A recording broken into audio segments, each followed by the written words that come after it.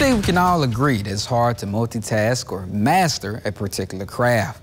But what if I told you about a guy that's not only mastered one craft, but two?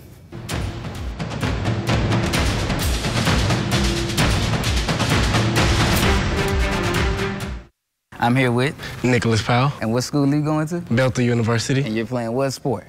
Football. All right, we'll get back into that in a second. Yes, Let's talk yes, about why you chose Bethel University. Out of all schools that offered me, that was the greatest opportunity. Plus, it's close to home, so that's my best choice, I, I feel like. All right, when did you start playing football? I started playing football when I was about 10 years old in the county league. Yeah, 10 years old.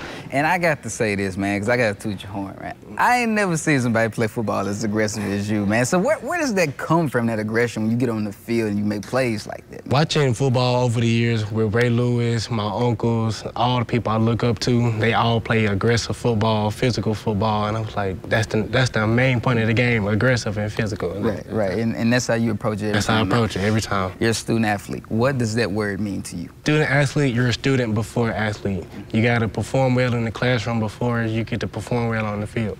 Man, and you've done a lot of great things here at Southside. We were just talking a little bit off camera, some stuff that you want to get accomplished and whatnot, man. So what would you say your biggest memory from here so far, just going to school here and playing on the field?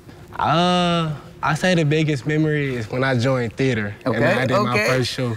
Yeah, it was actually crazy. I, I, I, wasn't expecting to turn out as well as I did, but it turned out pretty well. So wait, wait, you do some acting as well? Yeah, you got to tell me about that. Where did that come from? What made you want to join theater and start doing acting? Uh, Miss Cargile, she walked up. She walked up to me and she was like, every year we um, we get a football player, a star football player to do the show, and she, I guess, she just chose me and she encouraged me. She kept encouraging me to do it. So I was like, it's something different, so I guess I'll try, you know. You think there's something you'll continue to do, like maybe improv classes or something like that, even when you go to bed? about improv. I might do a couple other shows. Okay, yeah, okay. Yeah. I gotta ask you this, man, because you're a great young man. Who inspires you? Is it somebody in your family, somebody professionally, but who inspires you every morning you get up to push yourself? My entire family, because my entire family, they put, they motivate me to get up every day they get up every day, they work hard. My nana's right here, she she get up work every day hard. My uncle D-Berry, my mom, all my uncles, they just hard workers, family full of hard workers. That's what our legacy is built on, hard workers, so gotta keep the hard work hard going. work is so important, man, it's it really is. Let's talk about there's another little Nicholas Powell out there, right? He's looking at you, he's like, man, that guy's great on the field, he can do acting, he can do everything. What advice would you give to him? I say effort.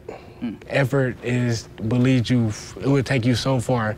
I mean, you might not have the best talent. You might not be the fastest. You might not be the strongest. But if you put forth the effort, it, it's gonna it's gonna show. It's gonna. They know who I am, so it's not it's not really much to hide. So. Oh, I do sing. You sing. I do sing. I am in the choir. You got vocals. Well. Okay, all right. Shout out to Miss yeah, You sing I as well. as well. I'm in the choir as okay. well. So. I ain't gonna put you on the spot. Hey, you I, ain't, I ain't gonna do it like that, but that's how you got anything else Maybe, for me? Um, I just want to thank everyone for the love and the support. You know, it's been it's been great getting to do what I've been able to do in the past four years. I can say it's a true blessing from God. Definitely, so, man. Congratulations. Thank you. Thank you. Thank, thank you. you. No problem. No problem. Well done. As you can see, Nick is a great kid with a lot of great qualities, and the sky's the limit for whatever he puts his mind to. For the full interview, head online to WBBJTV.com.